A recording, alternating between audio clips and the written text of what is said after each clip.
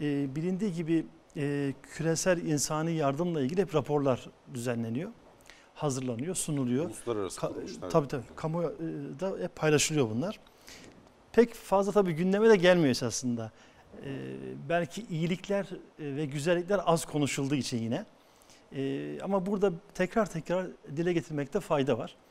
Şimdi bu e, raporlarda insani ya- yardım hususunda hani e, sadece kendi ülkesinde veya kendi toplumda değil, dünyadaki herhangi bir e, ihtiyaç yerinde e, ülkelerin durumları ortaya konuyor.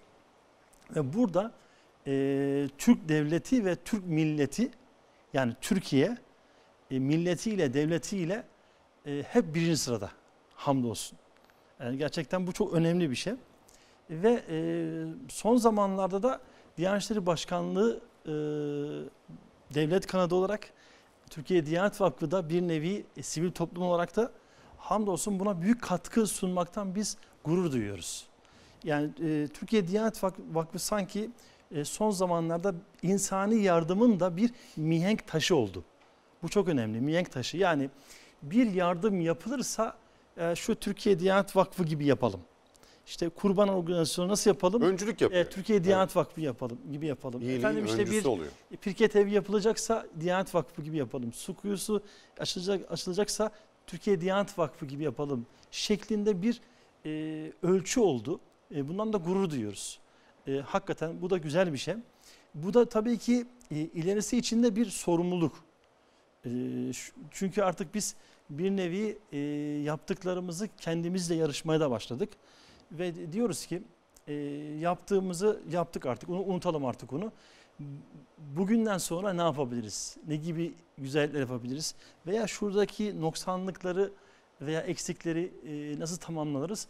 E, tarzında bir dünyamız oluştu.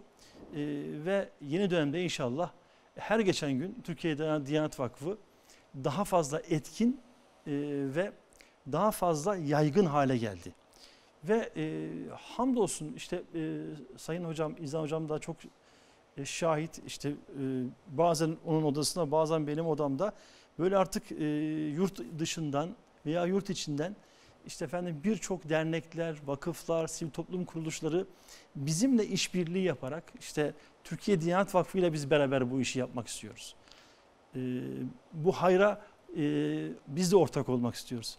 Biz de bu güzelliğin içinde olmak istiyoruz. Biz de ca- camiyi beraber yapalım. Kur'an kursunu beraber yapalım.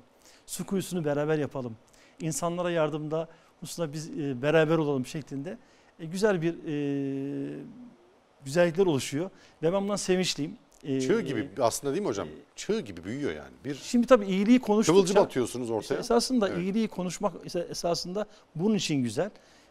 Belki iyilik az konuşulduğu için sanki çok iyilik yokmuş gibi zannediliyor. Halbuki e, hakikaten e, dünyada çok güzel şeyler de var. Hele hele Türkiye adına, Türk milleti adına e, göğsümüzü kabartan o kadar güzellikler oluyor ki inşallah zaman içerisinde bunları Evet. da paylaşacağız.